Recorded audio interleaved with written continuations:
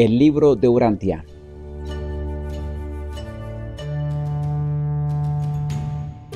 Cuarta parte. La vida y las enseñanzas de Jesús. Documento 146.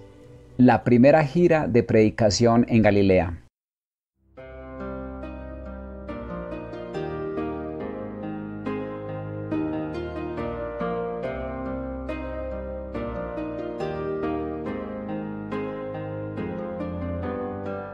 La primera gira de predicación pública en Galilea comenzó el domingo 18 de enero del año 28 después de Jesucristo y prosiguió aproximadamente por dos meses, finalizando con el retorno a Cafarnaún el 17 de marzo. En esta gira, Jesús y los doce apóstoles, con la asistencia de los ex apóstoles de Juan, predicaron el Evangelio y bautizaron a los creyentes en Rimón, Jotapata, Rama, Zabulón, Irón, Giscala, Corazín, Madón, Cana, Naín y Endor. En estas ciudades se detuvieron para enseñar, mientras que en muchas otras de las ciudades más pequeñas proclamaron el Evangelio del Reino mientras pasaban por estas. Fue esta la primera vez cuando Jesús permitió a sus asociados predicar sin restricciones. Durante el curso de esa gira, les llamó la atención en tres ocasiones solamente, les advirtió que se mantuvieran lejos de Nazaret y que fueran discretos al pasar por Cafarnaún y Tiberias. Fue fuente de gran satisfacción para los apóstoles tener por fin la libertad de predicar y enseñar sin restricciones, y se volcaron con gran entusiasmo y gozo a la tarea de predicar el Evangelio, ministrando a los enfermos y bautizando a los creyentes.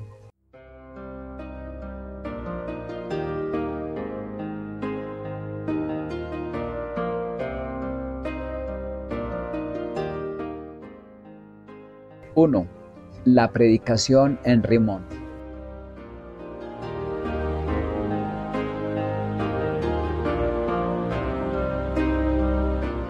La pequeña ciudad de Rimón estuvo una vez dedicada a la adoración de un dios babilónico del aire, Ramán. Los rimonitas aún conservaban muchas creencias basadas en las antiguas enseñanzas babilónicas y las posteriores zoroastras. Por consiguiente, Jesús y los 24 dedicaron mucho de su tiempo a la tarea de aclarar la diferencia entre estas viejas creencias y el nuevo Evangelio del Reino. Aquí predicó Pedro uno de los grandes sermones del principio de su carrera sobre Aarón y el becerro de oro. Aunque muchos de los ciudadanos de Rimón se convirtieron en creyentes de las enseñanzas de Jesús, en años posteriores crearon muchos problemas para sus hermanos, es muy difícil convertir en el corto espacio de una sola generación a los que adoran la naturaleza en miembros plenos de una hermandad que adora un ideal espiritual.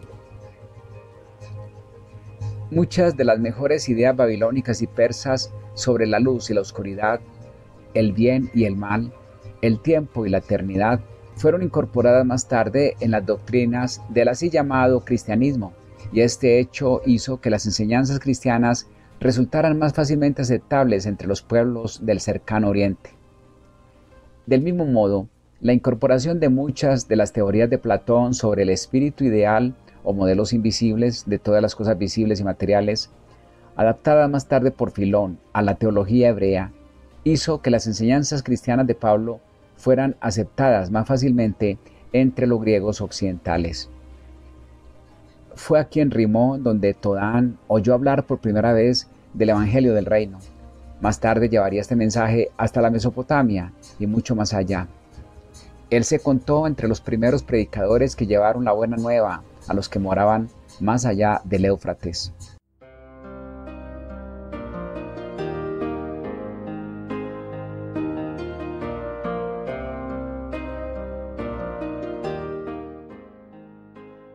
Dos en Jotapata.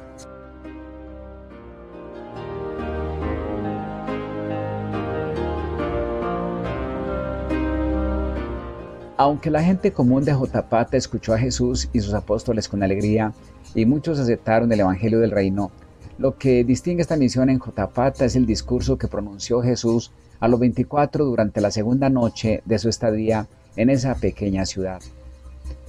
Natanael tenía cierta confusión mental sobre las palabras del Maestro relativas a la oración, la acción de gracias y la adoración. Y en respuesta a su pregunta, Jesús habló largamente, ampliando y explicando sus enseñanzas. Resumida en idioma moderno, esta disertación puede ser presentada haciendo hincapié sobre los siguientes puntos.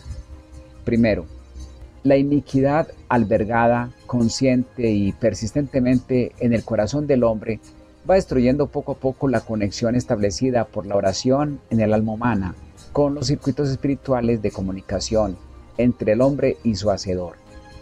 Naturalmente, Dios oye la súplica de su Hijo, pero cuando el corazón humano alberga deliberada y constantemente los conceptos de iniquidad, se produce gradualmente una pérdida de comunión personal entre el Hijo terrenal y su Padre celestial. Segundo, la oración en desacuerdo con las leyes de Dios conocidas y establecidas es abominable para las deidades del paraíso. Si un hombre no escucha a los dioses cuando hablan a su creación en las leyes del espíritu, de la mente y de la materia, tal acto de desprecio deliberado y consciente de la criatura hace que las personalidades del espíritu ya no presten oído a las súplicas personales de tales mortales desobedientes y sin ley. Jesús citó a sus apóstoles las palabras del profeta Zacarías, pero se negaron a escuchar, volvieron la espalda y taparon sus oídos para no oír. Sí, endurecieron su corazón como una piedra, para no oír ni mi ley, ni las palabras que enviaba por mi espíritu por medio de los profetas. Por los resultados de sus malos pensamientos vinieron como gran enojo sobre sus cabezas culpables y aconteció que clamaron por misericordia, pero nadie les escuchó. Y luego Jesús citó el refrán del hombre sabio que dijo, El que aparta su oído para no oír la ley divina, aun su oración será abominable.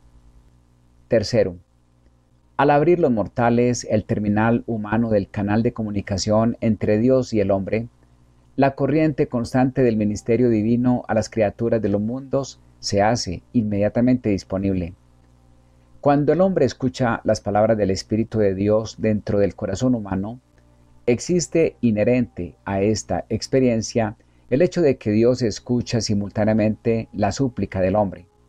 Aún el perdón de los pecados también opera en esta misma forma infalible. El Padre en el cielo te ha perdonado aún antes de que hayas pensado en pedírselo, pero dicho perdón no es asequible en tu experiencia religiosa personal hasta tanto no perdones tú a tus semejantes.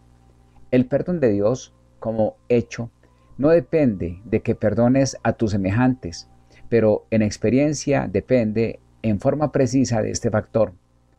Y este hecho de la sincronía del perdón divino y humano fue así reconocido y vinculado en la oración que Jesús enseñó a los apóstoles. Existe una ley básica de justicia en el universo que la misericordia encuentra impotente de eludir. No es posible que las generosas glorias del paraíso sean recibidas por una criatura totalmente egoísta de los reinos del tiempo y del espacio.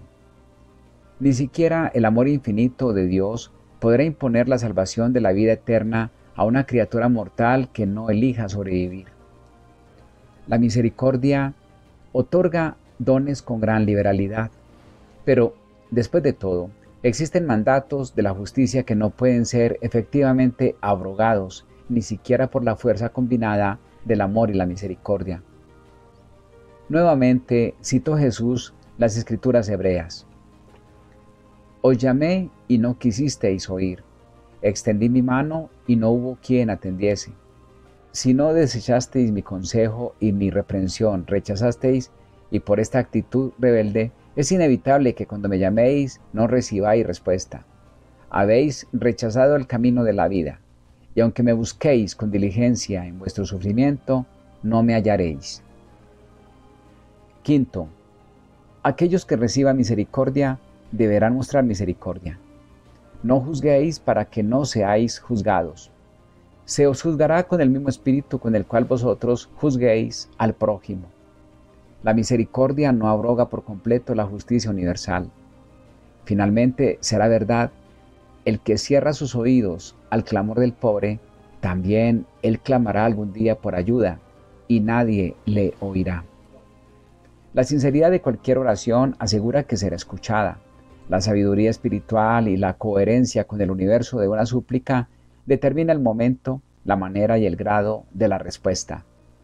Un padre sabio no responde literalmente a las súplicas tontas de sus hijos, ignorantes e inexpertos, aunque estos hijos pueden derivar gran placer y una real satisfacción del alma al hacer súplicas tan absurdas. Sexto, cuando estés totalmente dedicado a hacer la voluntad del Padre en el cielo, recibirás respuesta a todas tus súplicas, porque obrarás en total y pleno acuerdo con la voluntad del Padre, y la voluntad del Padre se manifiesta para siempre en todo su vasto universo. Lo que desea el Hijo verdadero y lo que es voluntad del Padre infinito se hace realidad. Tal oración no puede permanecer sin respuesta, y no hay otro tipo de súplica que pueda ser contestado plenamente. Séptimo.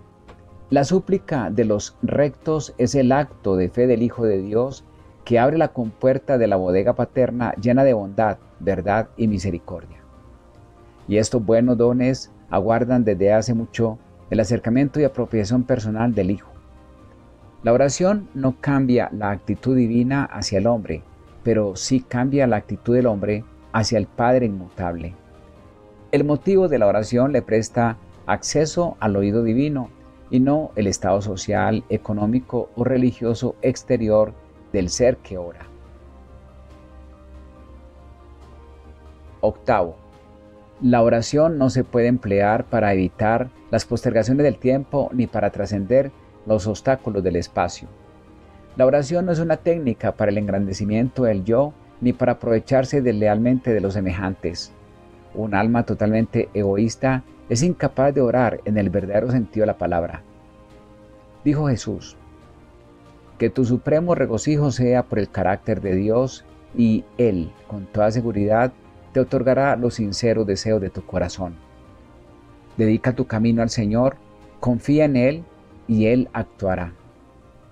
En efecto, el Señor escucha el lamento de los menesterosos y contempla la súplica de los desamparados. 9. Yo he venido del Padre. Si, por lo tanto, dudas sobre qué puedes pedirle al Padre, suplica en mi nombre y yo presentaré tu voluntad de acuerdo con tus necesidades y deseos reales y de acuerdo con la voluntad de mi Padre. Cuídate del grave peligro del tornarse egocéntrico en tus oraciones Evita el mucho suplicar para ti mismo. Ora en cambio por el progreso espiritual de tus hermanos. Evita la oración materialista. Ora en el Espíritu y por la abundancia de los dones del Espíritu. Décimo. Cuando oréis por los enfermos y los afligidos, no esperéis que vuestra súplica reemplace los cuidados amantes e inteligentes que estos seres afligidos necesitan. Orad por el bienestar de familiares, amigos y compañeros, pero especialmente orad por los que os maldicen y haced súplicas amantes para los que os persiguen. Pero no te diré cuándo debes orar. Solo el Espíritu que habita dentro de ti te puede instar a que pronuncies las súplicas que mejor expresen tu relación íntima con el Padre de los Espíritus. Decimo primero, muchos recurren a la oración solo cuando están atribulados. Es una práctica engañosa e irreflexiva. Sí, haces bien en orar cuando algo te aflija, pero también debes, como un hijo, hablar con el Padre cuando tu alma está serena. Que todas tus súplicas sinceras sean siempre en secreto. No permitas que los hombres escuchen tus oraciones personales. Las oraciones en expresión de la gratitud son apropiadas para los grupos de adoradores, pero la oración del alma es un asunto personal. No hay sino una sola forma de oración que es apropiada para todos los hijos de Dios, y esa es, a pesar de todo, se hará la voluntad tuya. Decimos segundo, todos los que creen en este Evangelio deben orar sinceramente por la expansión del reino del cielo. De todas las oraciones contenidas en las escrituras hebreas, él comentó favorablemente sobre la siguiente súplica del salmista. Crea en mí, oh Dios, un corazón limpio y renueva un espíritu recto dentro de mí. Purifícame de los pecados secretos y protégeme de las transgresiones presuntuosas. Jesús habló largo y tendido sobre la vinculación del rezo con el lenguaje ligero y ofensivo, citando, Oh Señor, pon guarda ante mi boca y guarda la puerta de mis labios.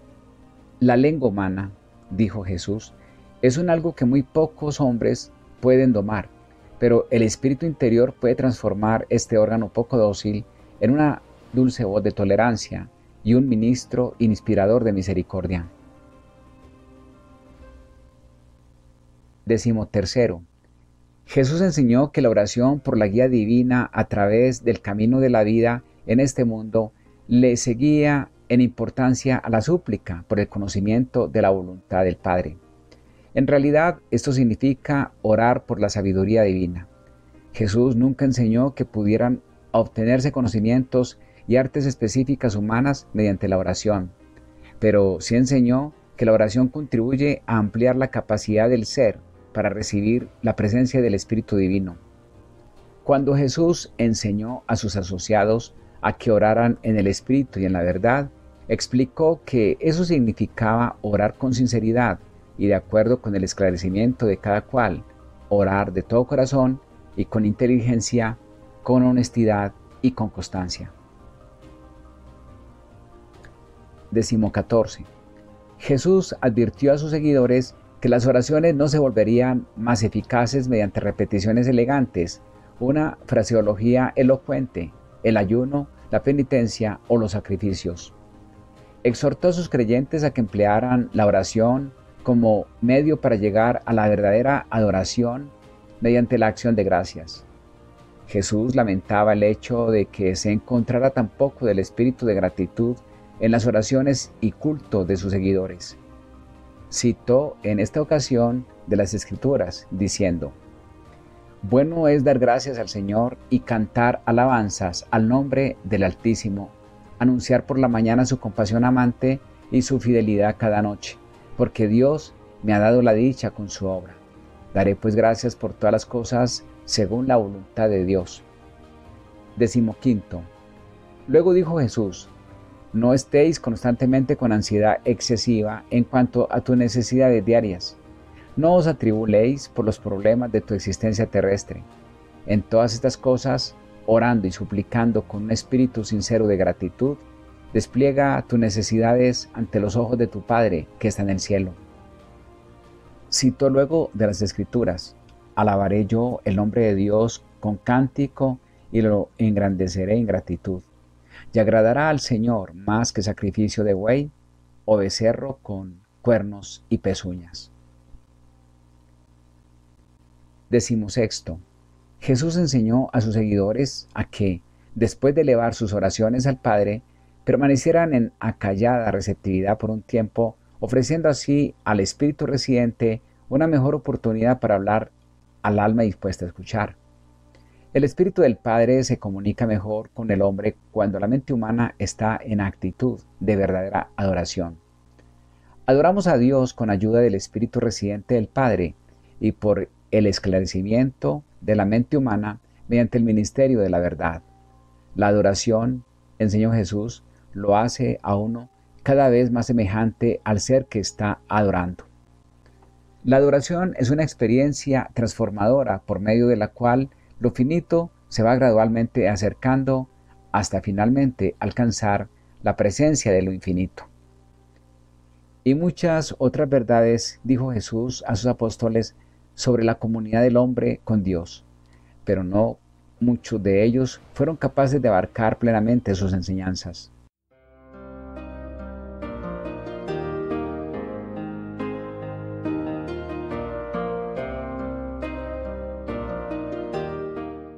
3. La parada en Ramá.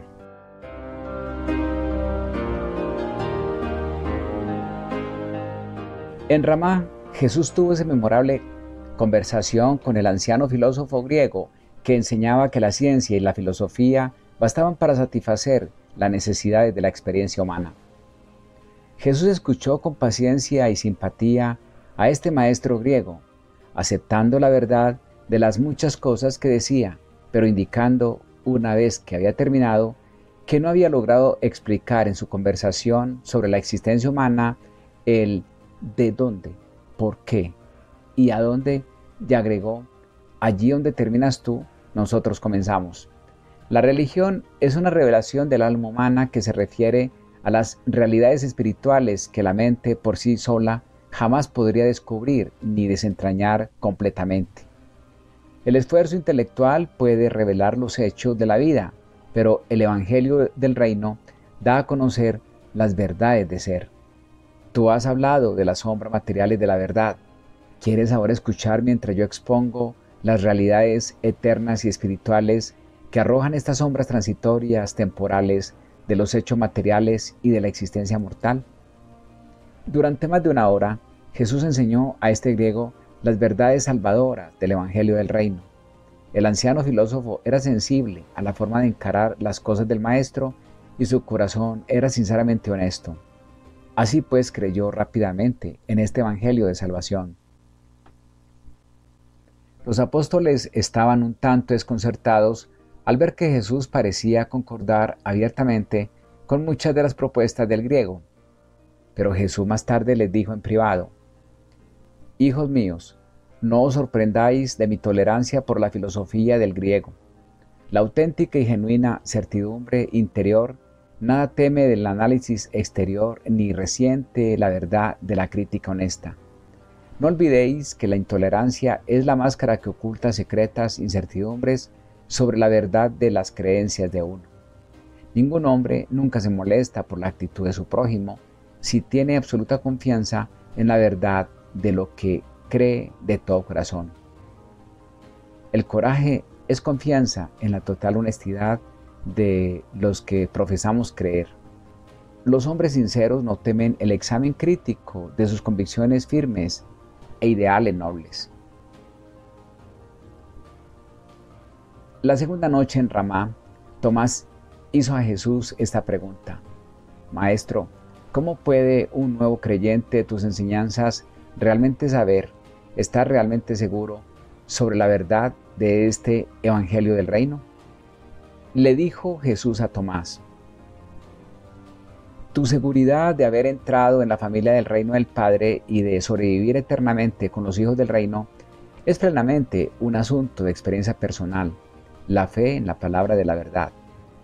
La seguridad espiritual equivale a tu experiencia religiosa personal en las realidades eternas de la verdad divina y es de otra manera igual a tu comprensión inteligente de las realidades de la verdad más tu fe espiritual y menos tus dudas honestas.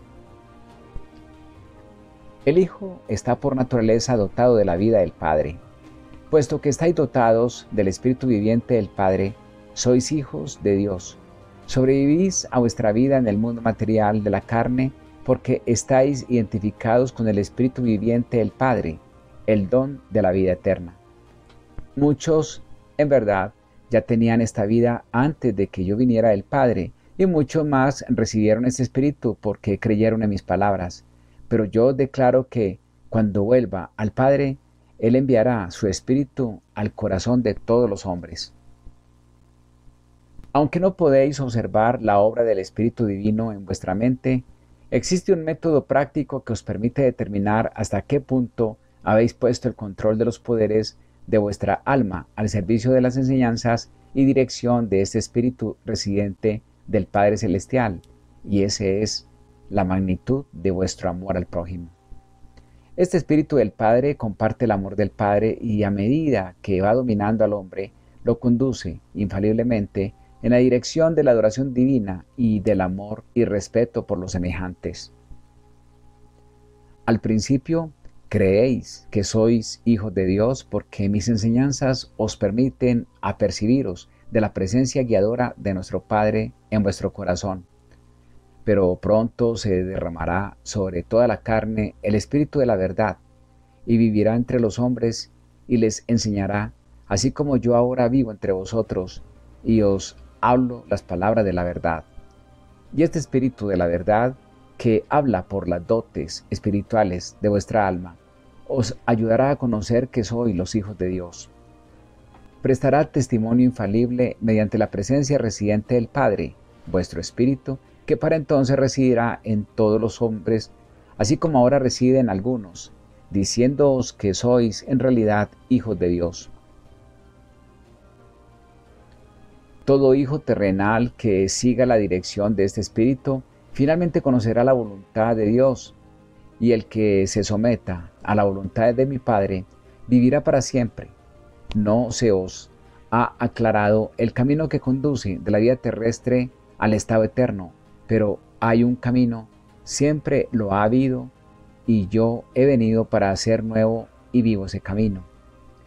El que entra en el reino ya tiene vida eterna, jamás perecerá pero mucho de esto comprenderéis mejor cuando haya regresado a mi Padre y podáis visualizar vuestras experiencias corrientes retrospectivamente.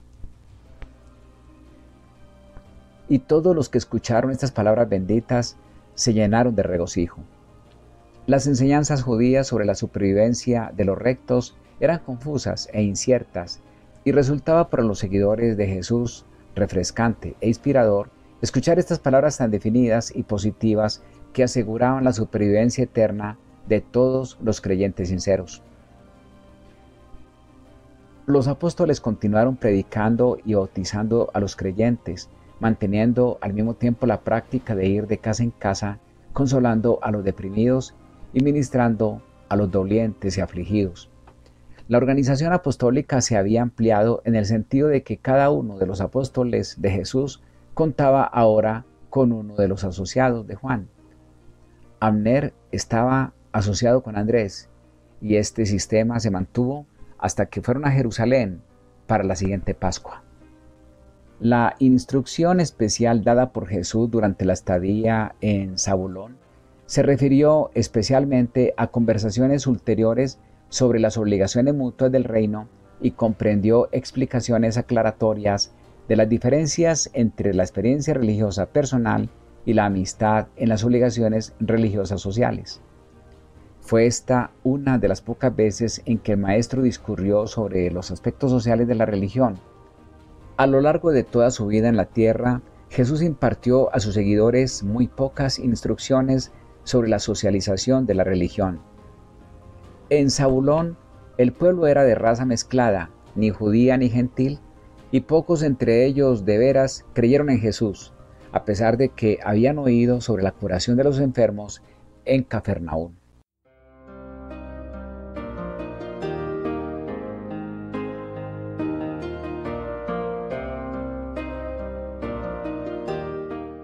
¡4! El Evangelio en Irón.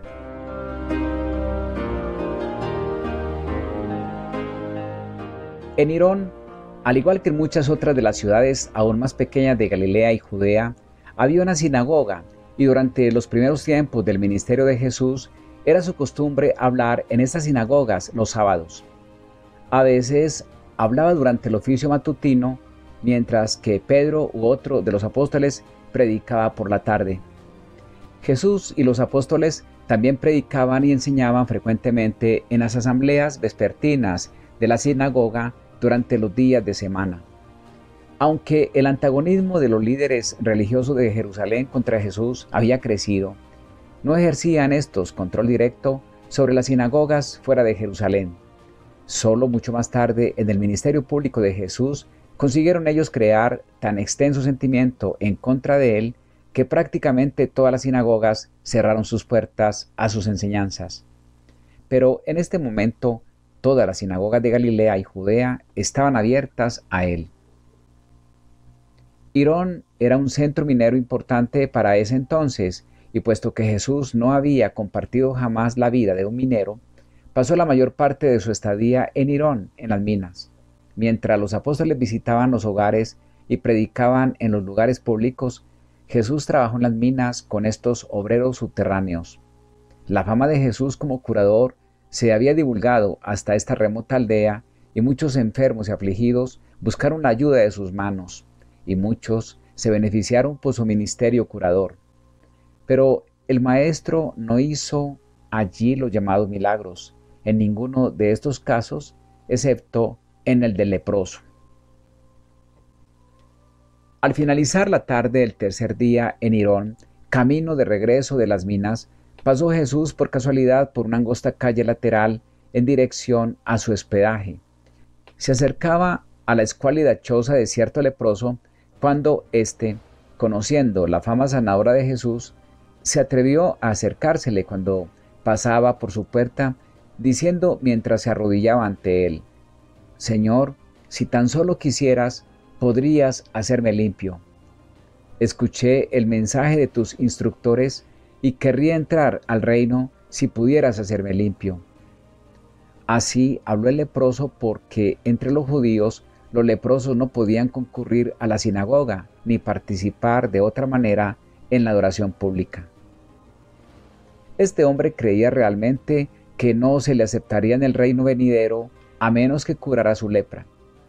Y cuando Jesús vio su aflicción y oyó sus palabras de fe perseverante, se conmovió su corazón humano y la mente divina se llenó de compasión. Mientras Jesús lo contemplaba, el hombre cayó de bruces y adoró. Entonces tendió el maestro la mano y, tocándolo, dijo, Lo quiero, quedas limpio. Y el enfermo sanó de inmediato. La lepra no más le afligía. Jesús lo ayudó a incorporarse. Luego le advirtió, no hables con nadie de esta curación, más bien vete y ocúpate tranquilamente de atender tus asuntos. Preséntate ante el sacerdote y ofrece los sacrificios mandados por Moisés en testimonio de tu limpieza. Pero este hombre no cumplió con las instrucciones de Jesús. Corrió en cambio por las calles de la aldea proclamando que Jesús le había curado la lepra, y puesto que todos lo conocían, pudieron ver claramente que estaba limpio de su enfermedad no fue a donde los sacerdotes como Jesús le había exhortado. Tanto se corrió la voz de esta nueva curación por el relato de este hombre, que el maestro estuvo tan asediado por los enfermos que se vio forzado a levantarse temprano la mañana siguiente y partir de la aldea. Aunque no volvió Jesús a esa ciudad, permaneció en las afueras por dos días, cerca de las minas, enseñando el Evangelio del reino a los mineros creyentes. Esta limpieza del leproso fue el primero de los así llamados milagros que Jesús hubiera realizado intencional y deliberadamente hasta ese momento. Era un caso auténtico de lepra. Desde Irón fueron a Giscala pasando allí dos días en la proclamación del Evangelio y luego pasaron a Corazín donde estuvieron casi una semana predicando la buena nueva, pero no consiguieron ganar muchos creyentes para el reino en Corazín. Nunca había tropezado Jesús con un rechazo tan general de su mensaje en el curso de sus enseñanzas. La estadía en Corazín fue muy deprimente para la mayoría de los apóstoles y Andrés y Abner tuvieron dificultades para conseguir que sus asociados no perdieran la valentía. Así pues, pasando silenciosamente por Cafarnaún, fueron a la aldea de Madón, donde no tuvieron mucho más éxito prevalecía en la mente de la mayoría de apóstoles la idea de que no habían logrado éxito en estas ciudades recientemente visitadas porque Jesús insistía que en sus enseñanzas y predicaciones no debían referirse a Él como curador de enfermos. ¿Cómo deseaban que limpiara a otro leproso o manifestara de alguna otra manera su poder para atraer la atención de la gente? Pero el maestro se mantuvo impertérrito ante sus ruegos sinceros.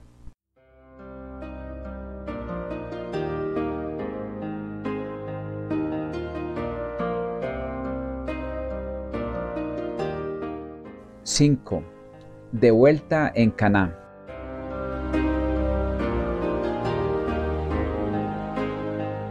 El grupo apostólico se alegró mucho cuando Jesús anunció, mañana vamos a Caná. Sabían que en Caná tendrían un público comprensivo porque Jesús era muy conocido allí. Estaban trabajando bien en su obra de atraer a las gentes al reino cuando, al tercer día, llegó a Caná cierto ciudadano prominente de Cafarnaún, llamado Tito, que creía a medias y cuyo hijo estaba gravemente enfermo. oyó que Jesús estaba en Caná y deprisa fue a verlo. Los creyentes de Cafarnaúm pensaban que Jesús podía curar cualquier enfermedad. Cuando este noble ubicó a Jesús en Caná, le suplicó que se apresurara camino a Cafarnaúm para curar a su hijo afligido. Mientras los apóstoles lo rodeaban anhelantes de esperanza, Jesús, contemplando al padre del muchacho enfermo, dijo, ¿Cuánta paciencia debo teneros? El poder de Dios está en vuestro medio, pero si vosotros no veis signos de milagros ni contempláis maravillas, os negáis a creer. Pero el noble hombre le encareció a Jesús, Señor mío, yo sí creo, pero ven a donde mi hijo, que se está muriendo, porque cuando le dejé ya estaba a punto de perecer. Y después de inclinar Jesús la cabeza por un momento en meditación silenciosa, repentinamente habló. Vuelve a tu hogar, tu hijo vivirá. Tito creyó las palabras de Jesús y deprisa se encaminó de vuelta a Cafarnaún. Mientras caminaba, sus siervos salieron a su encuentro diciendo, Regocíjate, pues tu hijo está mejor, vive. Tito les preguntó a qué hora había empezado la mejoría del muchacho, y cuando los siervos respondieron, ayer alrededor de la hora séptima bajó la fiebre. El padre recordó, pues, que alrededor de esa hora le había dicho a Jesús, tu hijo vivirá. De allí en adelante, Tito creyó de todo corazón y su familia entera también creyó. Este hijo llegó a ser un poderoso ministro del reino y más tarde inmoló su vida con los que sufrían en Roma. Aunque todos los familiares de Tito, sus amigos y aún los apóstoles consideraron este episodio un milagro, no lo fue. Por lo menos no fue un milagro de curación de una enfermedad física. Fue simplemente un caso de preconocimiento de los procesos de la ley natural, el tipo de conocimiento previo al cual Jesús recurrió frecuentemente después de su bautismo. Nuevamente, tuvo Jesús que salir apresuradamente de Caná debido a la excesiva atención atraída por el segundo episodio de este tipo ocurrido durante su ministerio en esta aldea. Los habitantes de la ciudad recordaban el asunto del agua y el vino, y ahora decían que había curado a distancia al hijo del noble. Por eso acudían a él ya no tan solo con los enfermos y afligidos, sino que también le enviaban mensajeros para que curara a distancia a los dolientes. Y cuando Jesús vio que toda la región era presa de tanta excitación, dijo, Vamos a Naín.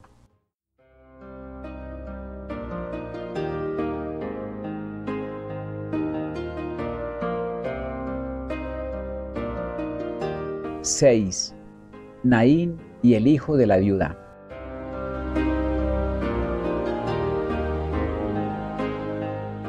Esta gente creía en los signos.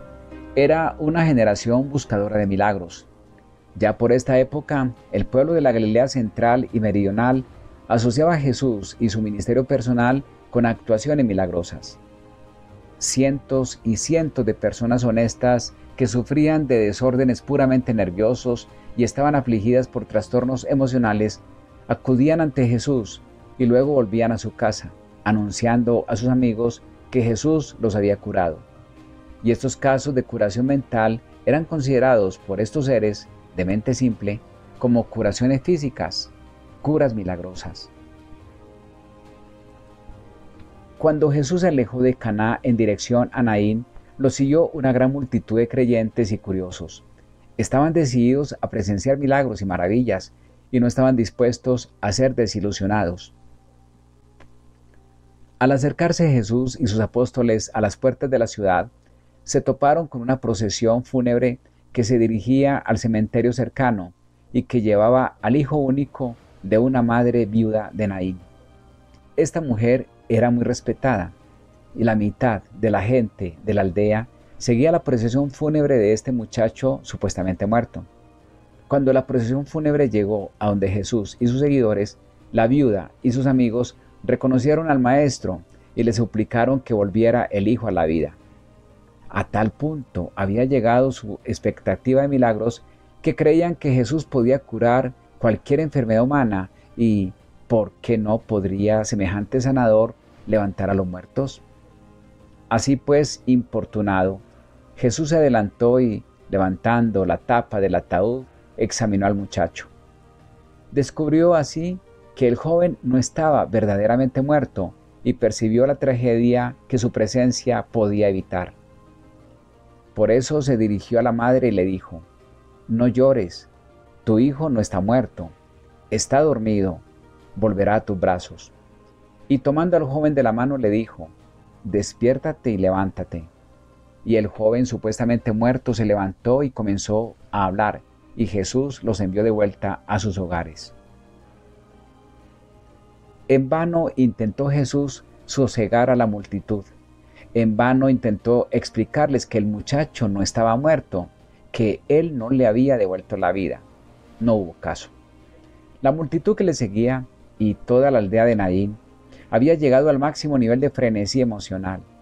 Muchos estaban dominados por el temor, otros por el pánico, mientras otros caían de rodillas para rezar y llorar por sus pecados. Fue imposible dispersar a la clamorosa multitud hasta mucho después de la caída de la noche. Naturalmente, a pesar de que Jesús les había dicho que el muchacho no estaba muerto, todos insistían que se había producido un milagro, que aún había levantado a un muerto. Aunque Jesús les dijo que el muchacho había caído simplemente en un sueño profundo, explicaron que esa era la forma de expresarse de Jesús y llamaron la atención sobre el hecho de que él siempre trataba de ocultar sus milagros con gran modestia. Así pues, se corrió la nueva por toda Galilea y Judea de que Jesús había rescatado de la muerte al hijo de la viuda, y muchos de los que oyeron este relato creyeron que era verídico. Jesús jamás pudo convencer plenamente ni siquiera a sus apóstoles de que el hijo de la viuda no estaba realmente muerto cuando le ordenó que se despertara y se levantara pero sí los impresionó bastante para tener por efecto de que no incluyeron este episodio en las narraciones subsiguientes, excepto Lucas, que narró este episodio tal como le fuera relatado.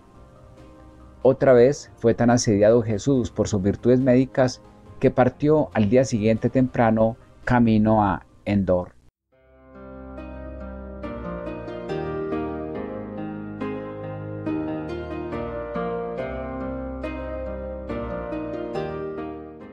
7. En Endor.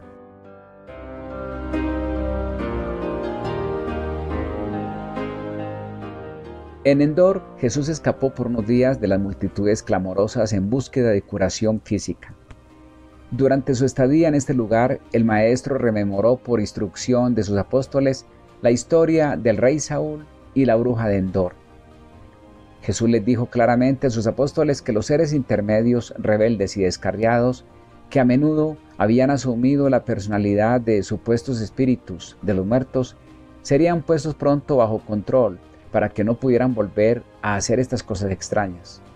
Les dijo a sus apóstoles que, cuando volviera junto al Padre y se derramara el Espíritu sobre la carne, ya no podrían estos seres semiespirituales, así llamados espíritus impuros, poseer entre los mortales a los de mente débil y a los de mente perversa. Jesús explicó además a sus apóstoles que los espíritus de los seres humanos muertos no vuelven a su mundo original para comunicarse con sus semejantes vivos. Solo después de haber pasado una época dispensacional podría el espíritu en progreso de un hombre mortal volver a la tierra y aún entonces, solo en casos excepcionales y como parte de la administración espiritual del planeta. Después de descansar dos días, Jesús dijo a sus apóstoles, Mañana volvemos a Cafarnaúm para estar allí y enseñar mientras se tranquiliza la campiña. Allí en mi tierra ya se habrán recobrado un poco de tanto frenesí.